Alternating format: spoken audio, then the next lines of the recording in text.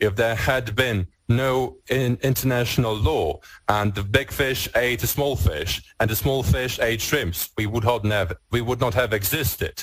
Uh, these are wise words of Lee Kuan Yew, the leader who was perspicacious enough to see the clear reason, reasons of many things and processes and who knew exactly what is of value.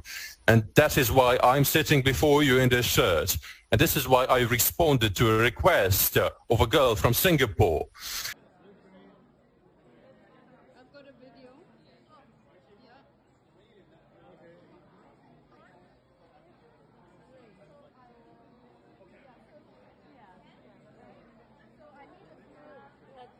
Do we also have uh, like a text or something? I I I, I wrote a, a letter for him. Okay.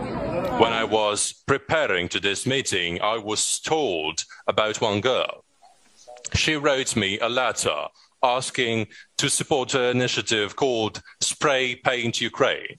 This is the initiative aimed at helping Ukraine.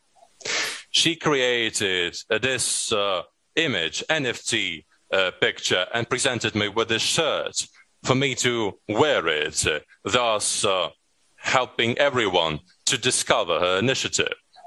And I thought to myself that this situation, this uh, request from this girl, her idea, her confidence that the president of Ukraine will really respond to her initiative and that I will be willing to help is of crucial importance.